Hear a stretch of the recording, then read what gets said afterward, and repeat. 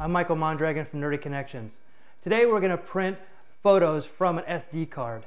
Now you can take uh, your SD card out of any camera, uh, high-end camera, low-end camera, and you can actually print straight from the SD card without taking it or dragging it to your desktop. And I'm going to show you how to do that today.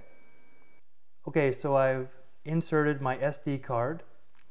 Uh, I'm going to navigate to the actual card. I have it open. And going into where my pictures are. So these are my three pictures that I have that I actually want to print. And I can select one photo and I can actually open it up in Photoshop. And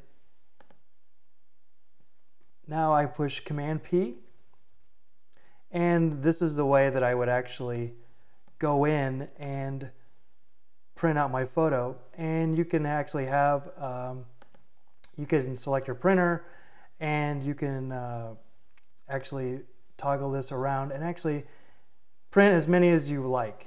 And if I wanted to I could do that straight off the SD card.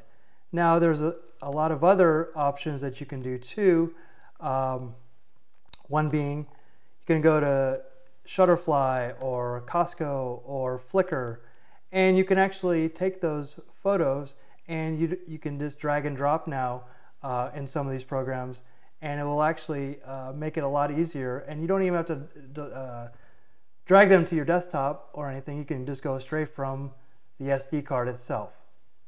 So that's how easy it is to take a photo from an SD card and print it out.